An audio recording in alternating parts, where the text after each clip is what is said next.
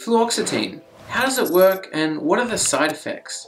In today's video I'm going to be looking at the scientific research behind fluoxetine, also known as Prozac, and I'm going to discuss the pharmacology and the toxicology of it, so that by the end of this video you'll know whether or not you should be taking fluoxetine. G'day there, I'm Jesse Crowe, the Travelling Scientist, and after spending years studying pharmacology, I'm here to help you live smarter, happier, and healthier lives. Now, I've created a cheat sheet with all the quick, need-to-know information about fluoxetine, and that's totally free for you guys. You can download that at any time. It's just in the description down below. So what is fluoxetine?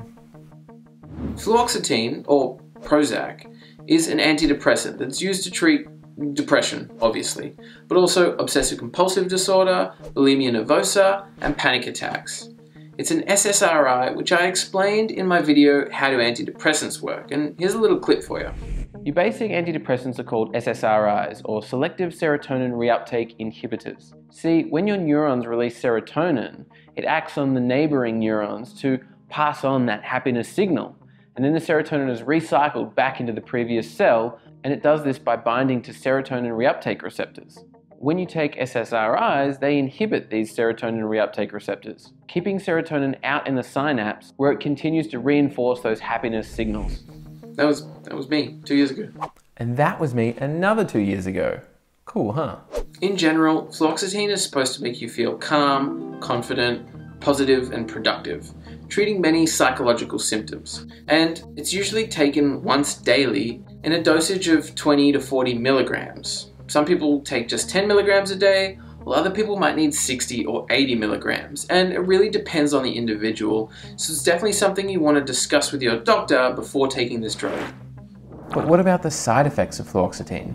A study in 2009 looked at 700 patients taking an SSRI like fluoxetine or something similar, and they concluded that of those 700 patients, 38% experienced some side effects. 38%. One of the main issues with Prozac is sleep, because Prozac is considered one of the more stimulating SSRIs, and as a result, it can interrupt your sleeping pattern, which can be super frustrating, but not as frustrating as sexual dysfunction. Loss of libido, lack of vaginal lubrication, and erectile dysfunction are common problems amongst patients taking fluoxetine. And it's believed this is because although serotonin makes us happy, it can also dampen our sexual desire so we just don't want to do the sex. Oh man! Finally, antidepressant discontinuation syndrome is a fancy way of saying that Prozac is addictive. And doctors will tell you that it's not, but if you try taking Prozac for a while and then you decide to stop, you'll feel headachy and nauseous and irritated and fatigued